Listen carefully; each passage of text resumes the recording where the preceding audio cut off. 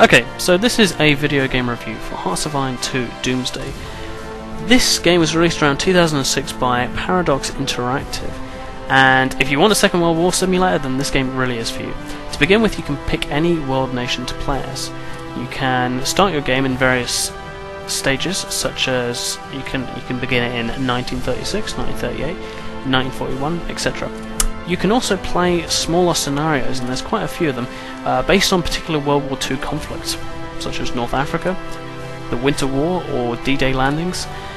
The Doomsday version of this game extends until 1953 and comes packed with a Doomsday scenario whereby the Allies face off against the Communist bloc. To say that this is a pretty epic struggle is really an understatement.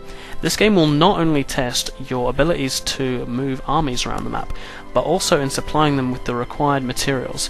I remember in my Germany campaign that uh, my my sort of my war machine, if you like, came to a grinding halt after I was unable to supply it with the the required oil. So it's not just about moving troops; it's also about the whole general war effort, if you like.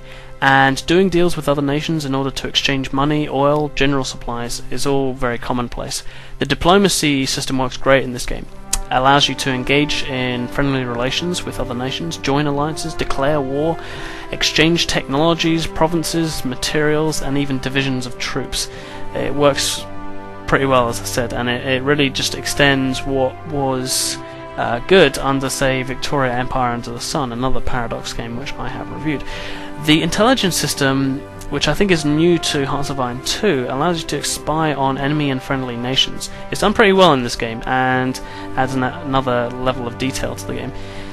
Sabotage uh, technology research is something that you can do. You can fund partisans within other nations' borders and attempt coups as well. For me, the most useful of these is surely uh, the coups, which, if successful, it can really alter the, the balance of power irre- irrevocably as shown in this particular scenario as Britain becomes fascist and joins me in its war against the Allies. I was playing as Germany here, and this just really helped. Up till then, Britain had been a thorn in my side, but I was managed to uh, instigate a coup, coup d'etat, and well, you know, hey presto, they were on my side.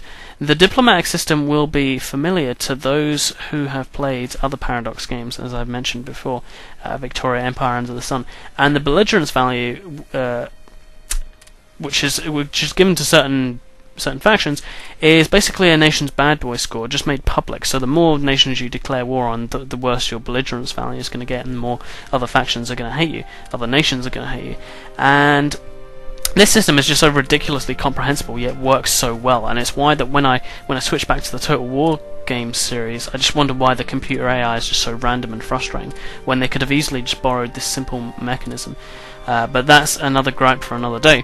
The scripted events also give the nations a gentle push towards the inevitable, though don't overpower the experience. Graphically, Hearts of Iron 2 is a slight upgrade from the first game, and looks a little nicer without doing an EU3 with, with garish 3D graphics.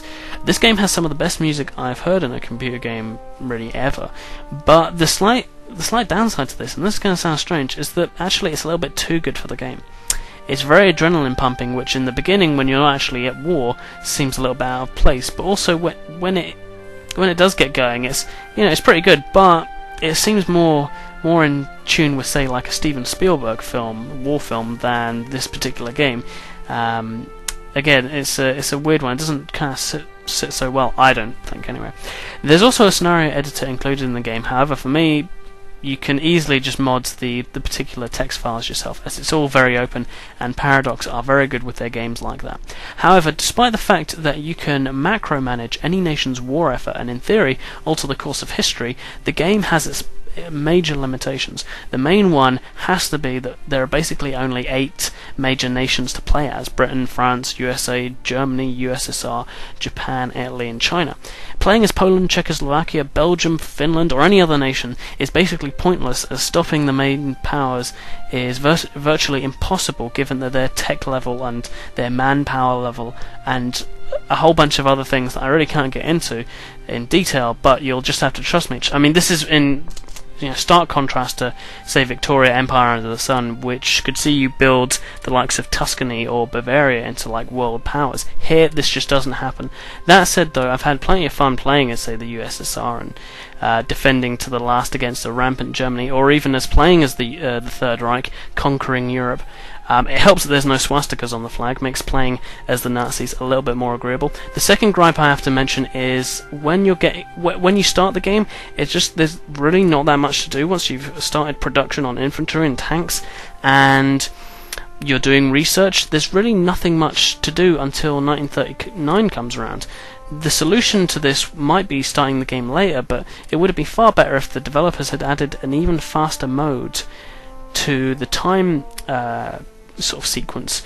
They um, now Paradox normally do pretty pretty well as far as the, the game speed is concerned. But given that this one, uh, this game deals with hours as well as days, uh, an extra one, extra fast one would have been even better. And given the fact that I can't find the particular file that needs modding, this is another kind of gripe. Whenever I start up a new campaign, I have to go through this kind of laborious thing of waiting till you know something actually happens, and that can be you know after say two proper gaming sessions. So whereas you really just want to get down into the action. But anyway, this is a really hard game to review because on the one hand it is really faithful war simulator with tons and tons of depth and historical content and really doesn't skimp on detail. However, the nature of this realism rules out playing as basically every nation on the globe, bar the major seven that I spoke about.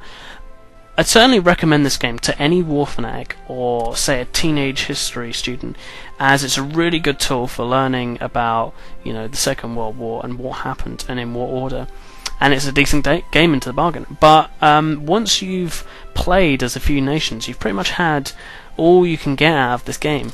Now, this is one of Paradox's better games, but I still, uh, I still think it comes a distant second to Victoria Empire Under the Sun, in my opinion, as it's a little bit too specific, and it's it caters for that niche anyway.